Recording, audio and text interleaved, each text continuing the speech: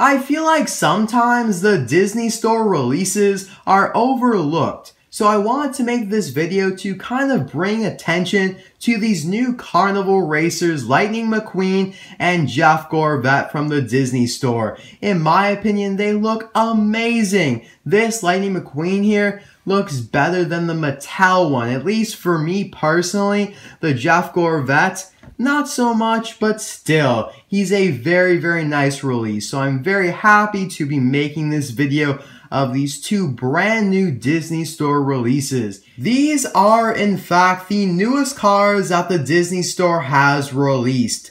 I just found them a couple weeks ago at the Disney Store, obviously, and a couple weeks before that, when I was on vacation in Las Vegas, Nevada, I found the first two carnival racers that the Disney store had released. Shu Todoroki and Carla Veloso. Don't worry, I will review these in a future video, but honestly, I just found McQueen and Jeff to be more attractive and just better in my opinion, so I wanted to review them first. And now I also have a lot of other Disney Store releases I still have to review, such as those carbon racers you can see in the background there, Max Schnell and Lightning McQueen, and a few of the artist series, including the Chip Foose artist series that includes some very patriotic cars. I cannot wait to review these, and I will. Trust me, eventually I'll get around to reviewing them, but Let's start here with Carnival Racer McQueen and Jeff Gorvette. Now, Mattel did make Lightning McQueen and Jeff Gorvette as Carnival Racers in about February of this year. And if you'd like to see my review of them, you can check out the video in the description below. There's a link to it in the related videos section. I will compare these two Disney Store releases to their Mattel counterparts later on in the video. But for now, let's just take a look at each of their packaging. So first off with McQueen, we got the Disney Store logo, the Cars logo up top, three and older, and some nice colorful background. You can see that this is in the Chaser series along with Jeff and the other two Carnival racers, Carla and Shu Todoroki. The carbon racers you see in the background there, Max and McQueen, are not in the Chaser series though. That logo, the silver one, just says carbon racers. I know they're very similar, so I wanted to distinguish that they're actually different. Now, I don't really care for this whole idea of Chaser series because in reality, they're not that rare. If you guys don't know, Chasers or Chaser series cars are meant to be rarer than typical releases, but like I said, in reality, they're not that rare at all. I still see like 10 of these, 10 of them, probably even more sitting on the shelf. So it's a little deceiving for people who only buy these because they think that they're rare. I'm sorry to say they're not that rare. On the side here, it does signify that these cars are Carnival Cup racers. And on the back, it does have the Transcontinental Race of Champions logo. Now, if you were wondering, these sell for $6.95 in the USA, and in Canada, apparently they sell for a dollar more. Now, there used to be this deal where if you bought two of these Disney Store singles, you would get them for $6 each instead of $6.95 each. But if you only bought one, you had to pay $6.95. But that deal is no longer in effect. You have to pay $6.95 for each of them.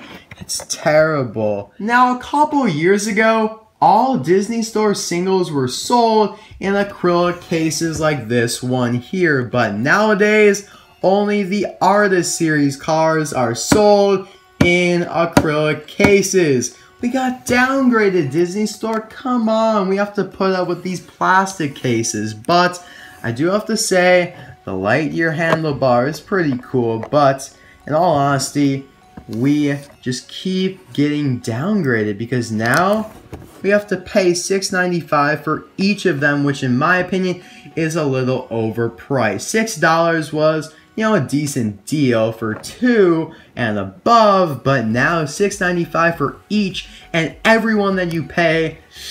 I don't know, it's a little bit much for me, but I guess they still have my money, so I really shouldn't be complaining. That's all I have to say about it. So now let me take these two out of the package and we'll take a look at them in closer detail.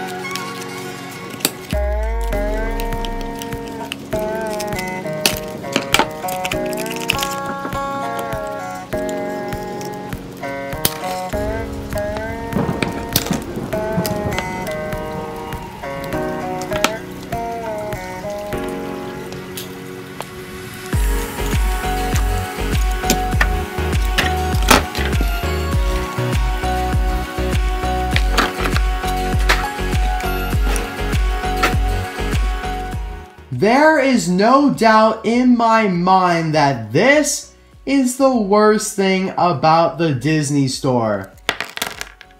I hate these things so much. I mean, look, here's what the knot looks like. How on earth are you supposed to untangle that? It's so small.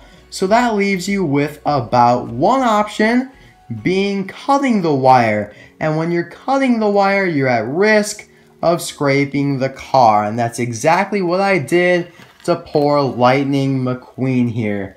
I don't even want to look at it, but I'll show you guys so you know to be careful when opening these cars up.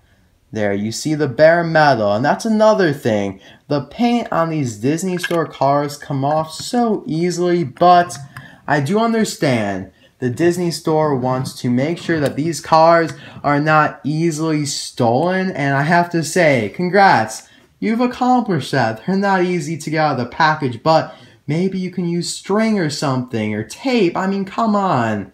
I have to say, I do not care for these wire bracket things at all. But disregarding that, let's get on with the review here of Lightning McQueen and Jeff Gorvette in their Carnival Racer paint job. So I guess we'll start with Jeff Gorvette because he's actually my least favorite from the Disney store. I do like his expression though. I mean, it's decent, not as good as McQueen's, but I do bring that up because the expression on Disney store cars are not always the best. And on Jeff here, it's alright. Not the best, not the worst, but he does have the Corvette logo there on his hood. He does have these nice silver details on his hood there as well, which the Mattel one does not have. I'll just be comparing the Mattel Carnival Racer Jeff to the Disney Store one while we're looking at him. The decals are about the same, just bigger, obviously on the Disney Store one. It looks like the rims are gray on the Disney Store version versus being black on the Mattel one. Let's take an up close look at the decals here. We got Corvette. I love that reflective foil design of the 24 number there. We got the Carnival Cup logo over here on the left. His typical American flag. On the roof, another shiny foil logo there. Very, very nice. I love that. And on a spoiler, it's got a nice glitter scheme going to it with the Carnival Cup text on it. 24 on either side. And on the back window, it does say JG with the American flag, obviously standing for Jeff Gorvette. Now, one interesting thing is that on the Mattel version, it's actually flipped. We have the American flag first, and then the initials, whereas on the Disney Store version, it's the other way around. So that's kind of interesting. There's a spoiler on the Mattel version for comparison. It looks like the Disney Store one has gold or bronze outlining around the text, whereas the Mattel one has silver outlining. On the back here, looks to be about the same. The Disney store did not make the mistake of including powered by Allinol that was a terrible mistake on the Mattel one because obviously he's not using Allinol anymore. That company is dead. But other than that, the decals are exactly the same, just bigger on the Disney Store version, obviously. And here's the base on the Disney Store version here. Disney Pixar, made in China, and some other information there. It is put together using screws, so theoretically you could take him apart, but I wouldn't necessarily recommend doing so because not many people have tried doing that with Disney Store cars, so there is just less knowledge about it. Now, before we move on to McQueen, I just want to show the regular Jeff Gorr from the Disney Store so you can kind of see the differences and similarities.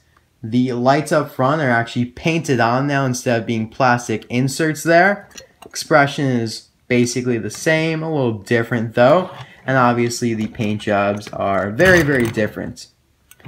Up next is Mr. McQueen. Now I forgot to mention that both of these do have a matte finish instead of being glossy like your typical Jeff Gorr here. So you can see how the light kind of reflects off the paint there, but on the Carnival ones, it doesn't reflect so much because it's a matte finish. Now, getting to Lightning McQueen here, let me pull out the Mattel one so you can compare side by side. Now, this is a pretty big concept here to grasp, so I have to explain it in a good way. I'm not really that good at explaining things, but here we go. So, the first wave of Carnival Racers for Mattel included this version of Lightning McQueen. He had orange tires and a partially orange spoiler, as you can see. Now, in the second wave of Carnival Racers for Mattel that just hit Target stores in the USA, that includes a bunch of new racers like Rip, Miguel, Nigel, Lewis, and Max. There's a variant Lightning McQueen, meaning that's different than the one from Wave 1. Its difference is that it has yellow tires and a semi partial yellow spoiler. Hey, there he is right there. So yes, this Disney Store version better reflects the Carnival Lightning McQueen in the second wave of Carnival Racers for Mattel rather than the one from Wave 1. Now I hope that made sense. It'll probably make more sense when I have all three to compare. I have the Disney Store yellow one to compare to the Mattel orange and yellow one, but I have not found the second wave of Carnival Racers for Mattel yet. But when I do, I'll review all of them and hopefully compare all three in that video. Now, most people who have found the most recent wave have only bought the new racers like Rip and Max and Nigel and left the variant McQueen behind. So either they don't care about the variant or they don't know about the variant. So I do want to inform you guys that the new second wave Lightning McQueen in the Carnival Racer series is different from the one released earlier this year. So check your Target stores. Maybe you'll be lucky enough to find the second wave. I honestly cannot wait to find them. It's been long enough. So, now let's get right into review here of Mr. McQueen and Mr. Mini McQueen, actually the Mattel version and the Disney Store version. So, first up, we can see the Hudson Hornet Piston Cup logo on the hood there with the silver outlining and a little bit of glitter in there as well. Very, very nice and similar to the Mattel one. I really, really have to say that this Disney Store version is just stunning. I highly recommend that you pick it up. On the side here, it says Lightning McQueen with that 95 foil deco design, whatever you want to call it. it. just looks great. The great design is what I'll refer to it as. We have the Transcontinental Race of Champions logo, the Carnival Cup logo, and McQueen's typical racing bolt, starting with yellow and fading into a reddish orange. Here we have another difference between the two. As you can see on the Mattel one, the bolt is the same throughout, whereas on the Disney Store one, it's yellow at first and then orange slash red in the back. You can also see that the tires are definitely a different color and on the Disney Store version, it says Lightyear on them, which is supposed to on the Mattel one, but they left out that detail, unfortunately. Now, going on to the spoiler here, both have 95 on either side of the spoiler, but the color is way, way different. As you can see, the text is different, the background is different, and it's a different spoiler itself, not just the decal as well. Now moving on to the back here, looks to be about the same, just bigger decals with the Carnival Cup, the American flag, 95, Lightning McQueen, and the Carnival Cup logo. Here's the base of McQueen if you're interested. Nothing too special on here at all. Now we have to talk about two more differences real quick. They're very, very small, but definitely worth talking about. So, as you can see on the side here, the Carnival Disney Store version here has Lightning McQueen's signature on both roof edges. The Mattel version does not. Another thing that the Mattel version does not have is this logo that has the American flag and McQueen's initials being LMQ. Now, it doesn't show up that well because the dark red blends in with the gray, but it is there. Pretty clear actually if you see it in person, but on the camera kind of darkens everything out. Mattel left that detail out entirely. And now one more thing about the Disney Store version here before we wrap the video up is that I absolutely love, I just love this number on the roof here. 95, the foil design again. I just love how it like reflects the light and sparkles.